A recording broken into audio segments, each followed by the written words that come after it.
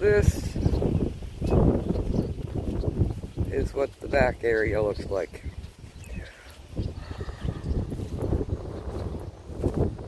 Trying to find spots where I'm not going to drown here.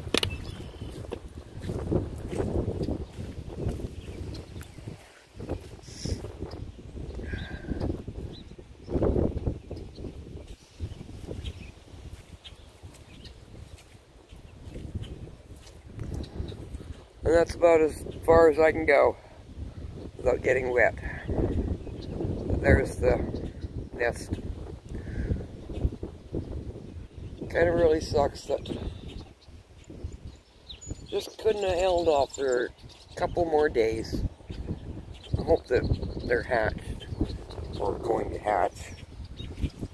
See if I can way out of here without getting drowned again. There we go. Anyway, just thought I'd let you guys see what it looks like back here. We got more rain coming, so that means this is going to fill up more.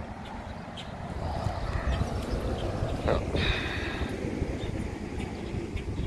And check the back or the front, so I'll pause for a sec. We'll just get bigger and deeper. I want to see the water trough really filled up.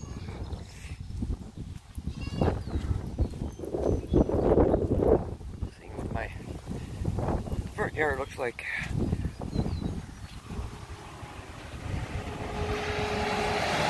It's starting to rain. Looks that's gonna get. Uh, no, we got quite a bit because that was about halfway. Oh.